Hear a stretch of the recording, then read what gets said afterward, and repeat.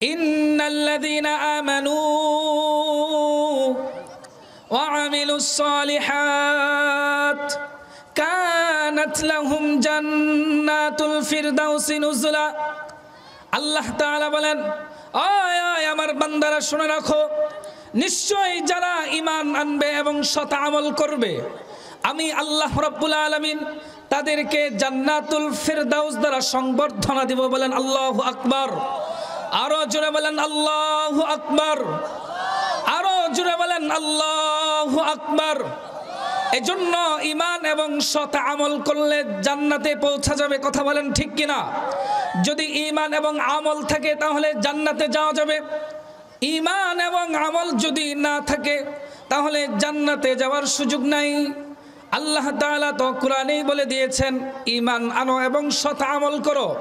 আমি তোমাদেরকে জান্নাতুল ফেরদাউস নসিব করব বলেন সুবহানাল্লাহ।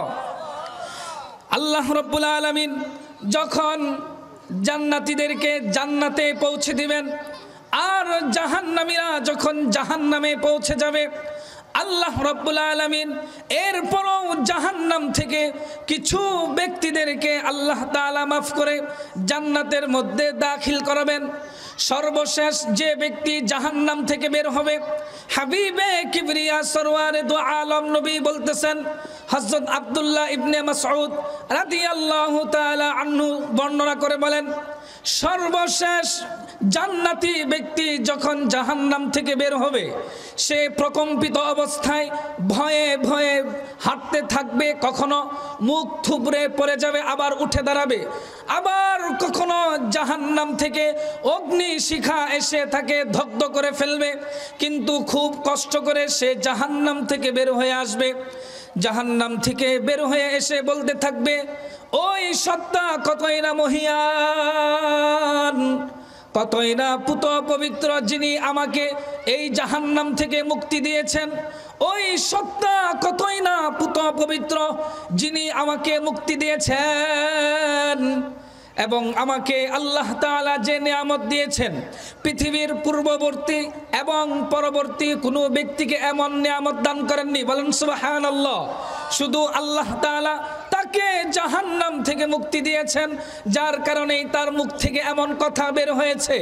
হজরত আব্দুল্লাহ ইবনে মাসউদ রাদিয়াল্লাহু তাআলা আনহু বলতেছেন, সে সামনে অগ্রসর হতে থাকবে, তার চোখের সামনে একটা সুন্দর গাছ দৃষ্টিগোচর হবে, সে বলতে থাকবে আল্লাহ, আমাকে ওই গাছের নিকটবর্তী করে দিন। আমি যেন ওই গাছের ছায়া গ্রহণ করতে পারি, ওই গাছের ফল আমি বক্ষণ করতে পারি এবং ঝর্ণার পানি আমি পান করতে পারি। আল্লাহ তাআলা বলবেন, ইয়া ইবনে আদম, হে আদম সন্তান, আমি যদি তোমাকে ওই গাছের নিকটবর্তী করে দেই, তাহলে কি তুমি আমার কাছে আরও কোনো কিছু চাইবে? বান্দা বলতে থাকবে, ওগো আল্লাহ, আমি আপনার কাছে আর কোনো কিছুই চাইব না। আমি বান্দা তোমার সাথে ওয়াদা করলাম। ওগো আল্লাহ শুধু আমাকে ওই গাছের নিকটবর্তী করে দিন। আল্লাহ রব্বুল আলমিন ওই ব্যক্তিকে গাছের নিকটবর্তী করে দিবেন এবং ওই গাছের ফল আহার করবে। সেখান থেকে পানি পান করবে। সেখান থেকে আরও দূরে আরেকটি গাছ দৃষ্টিগোচর হবে। এখন বান্দা বলতে থাকবে আল্লাহ, আমাকে ওই গাছের নিকটবর্তী করে দিন। ওগো আল্লাহ, ওই গাছটা খুবই সুন্দর। আমি ওই গাছের ফল বক্ষণ করতে চাই এবং ওই ঝর্ণার পানি পান করতে চাই আল্লাহ তাআলা বলবেন, ইয়া ইবনে আদম, হে আদম সন্তান, তুমি কি আমার সাথে ওয়াদা করো নাই যে আমার কাছে কোনো কিছুই চাইবে না?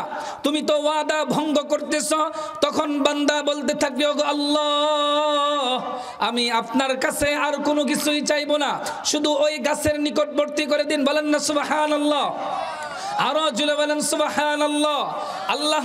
আলামিন ওই বান্দাকে গাছের নিকটবর্তী করে দেওয়া হবে। ওই গাছের ফল বক্ষণ করবে। তার ঝর্ণা প্রবাহিত হয়েছে, যে পানির ফোয়ারা প্রবাহিত হয়েছে, সেখান থেকে পানি পান করবে। সেখানে আরাম আয়াস করতে থাকবে। আবার অনতি আরেকটি গাছ দেখতে পারবে। সেটা জান্নাতের দরজার সামনে বিদ্যমান বলেন, সুবহানাল্লাহ। আরও জুড়ে বলেন, সুবহানাল্লাহ। ওই বান্দা বলতে থাকব গো, আল্লাহ, আমাকে ওই গাছের নিকটবর্তী করে দিন। আল্লাহ তাআলা বলবেন, ইয়া ইবনা আদম, হে আদম সন্তান, হে বান্দা, তুমি তো আমার সাথে ওয়াদা করেছ, আর কোনো কিছুই আমার কাছে চাইবে না। কিন্তু তুমি আমার কাছে বারবার দাবি করছ, কি কারণে? বান্দা বলতে থাকবে, ওগো আল্লাহ, আমি আপনার কাছে আর কোনো কিছুই চাইব না। আমি আপনার সাথে ওয়াদা করলাম, শুধু আমাকে ওই জান্নাতের নিকটবর্তী যে গাছটা রয়েছে, ওগো আল্লাহ ওই গাছের নিকটবর্তী আমাকে করে দিন। আল্লাহ তাআলা ওই বান্দাকে গাছের নিকটবর্তী করে দেওয়া হবে। সেখানে যাওয়ার পর সে জান্নাতি মানুষের আওয়াজ তার কানের মধ্যে আসবে। আর সে ডাক দিয়ে আল্লাহ তাআলাকে বলবে, ওগো আল্লাহ, আমি তো এখান থেকে জান্নাতি মানুষের আওয়াজ শুনতেছি। ওগো আল্লাহ, আমাকে একটু জান্নাতে ঢুকার অনুমতি দেয়া দিন। বলেন না, সুবহানাল্লাহ। বান্দা আল্লাহ তাআলা কাছে প্রার্থনা করবে আর আল্লাহ তাআলা বললেন ইয়া ইবনে আদম হে আদম সন্তান, তুমি কি আমার সাথে ওয়াদা করো নাই যে তুমি আমার কাছে আর কোনো কিছুই চাইবে না? কিন্তু তুমি তো বারবার আমার সাথে ওয়াদা ভঙ্গ করতেছ। আল্লাহ তাআলা বলবেন, ইয়া ইবনে আদম, হে আদম সন্তান, আমি যদি তোমাকে এই দুনিয়া এবং এই দুনিয়ার সমান আরও অনুরূপ তোমাকে দেওয়া হয়, বান্দা, তুমি কি সন্তুষ্ট হবে?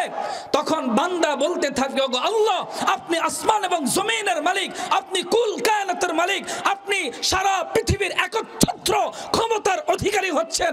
আপনি আপনি আমার সাথে কি ঠাট্টা করতেছেন? বলেন আল্লাহ আকবার। বান্দা বলবে, আল্লাহ, আপনি কি আমার সাথে ঠাট্টা করতেছেন?